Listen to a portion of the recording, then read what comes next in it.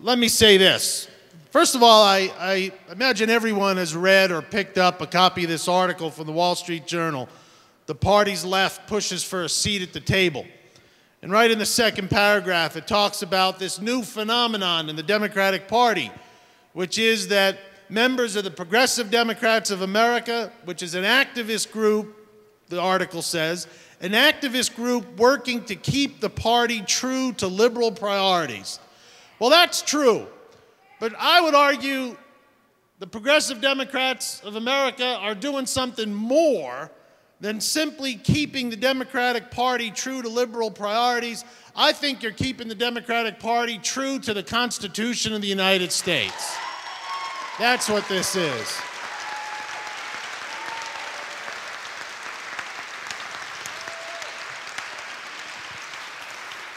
Now, I'm not Catholic, but this is my time for confession. Well, you are, you are in the proper setting, my friend. Okay. All right. I'm new to this confession stuff, so help me along.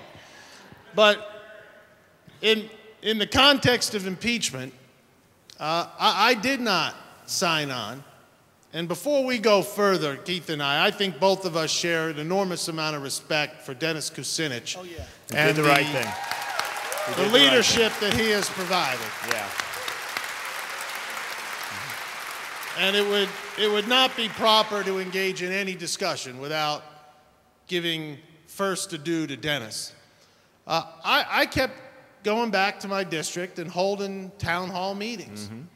In my district, every district has its own unique qualities, but, but mine is made up, I would argue, of some of the many of the most patriotic people in this country.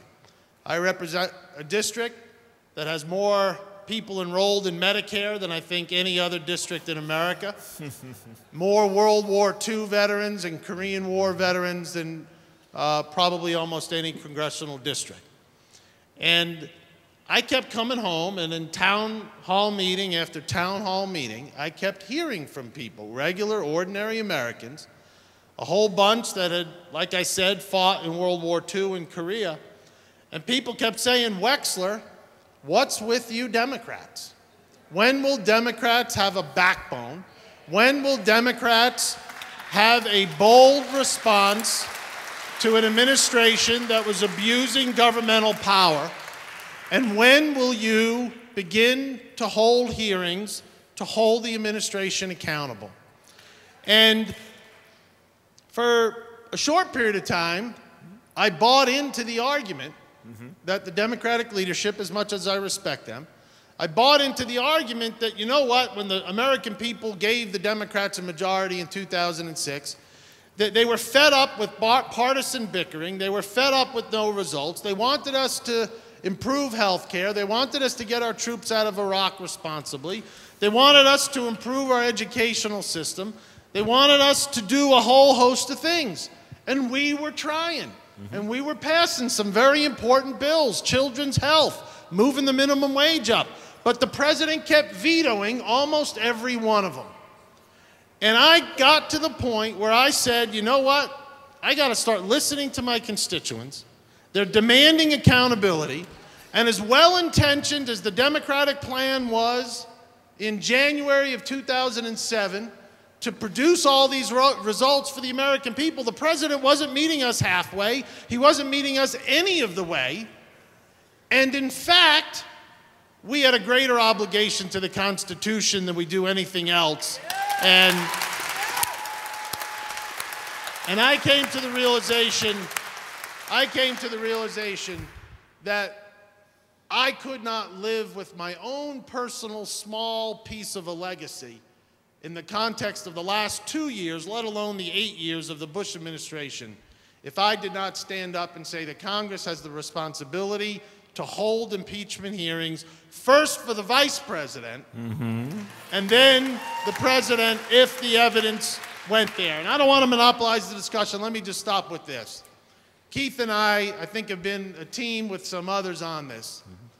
There is no doubt that there is credible evidence that this administration may have ordered the illegal use of torture in this country. Mm-hmm. and it ought to be investigated. Mm-hmm. There is no doubt that this administration may have fired U.S. attorneys for political, partisan purposes, and that politicizes the Justice Department in a way that there ought to be investigations.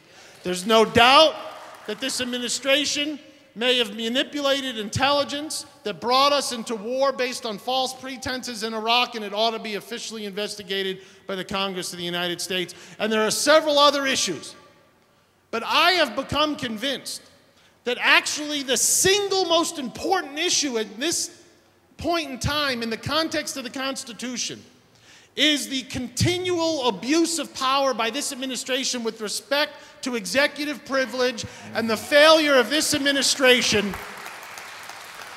to answer before the Congress of the United States like every other administration on history has done before. Bob Wexler. Okay, you got one more. I'm going to close with this 30 seconds. We may not accomplish impeachment in the next five weeks, but we ought to still push for the inherent power of contempt to get Karl Rove and those other members of the administration and former members to answer to the American people, and we ought to have the courage to do it. Thank you so much.